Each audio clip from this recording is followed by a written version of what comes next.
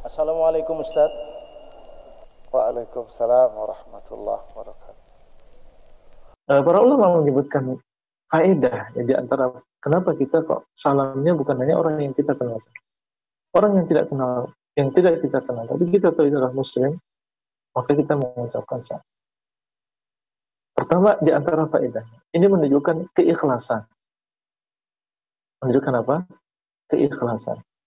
Kalau orang yang kita kenal, mungkin ustaz kita, kepala sekolah kita, guru kita, mungkin di situ ada suatu godaan. Seolah sebulan mengucapkan salam.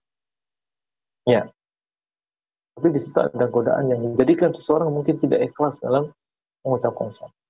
Tapi ketika orang lain yang tidak dia kenal, dia mengucapkan salam kepadanya, padahal dia nggak tahu siapa dan apakah dia memuji atau dia tidak memuji. Tapi dia mengucapkan salam menunjukkan tentang ya tentang keikhlasan. Menunjukkan juga tawadhu. Ya menunjukkan tawadhu. Meskipun baru pertama kali, tapi subhanallah kita buka kaca dan mengucapkan salam untuk mereka. Menunjukkan tentang tawadhu. Ini adalah bagian dari menyebarkan salam. Kita mengucapkan salam baik yang kita kenal maupun orang yang tidak kita kenal.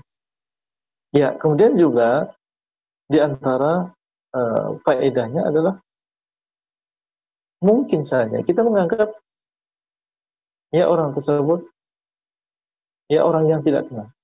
Tapi ternyata ternyata dia adalah orang yang kita kenal. Ketika kita hanya membeda-bedakan yang anak salamnya adalah orang yang kita kenal.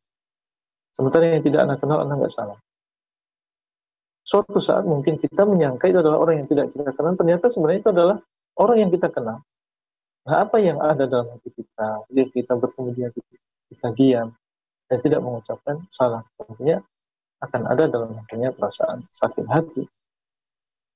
Kita tahunya itu bukan orang yang kita kenal, tapi ternyata dia adalah orang yang kita kenal.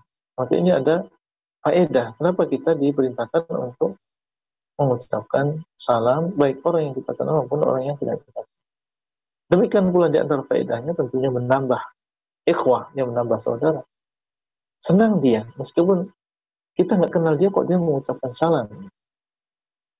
Hanya menjadikan dia mau mendekat dengan kita dan semakin besar ya rasa cinta dan rasa, rasa kasih di antara di antara kita.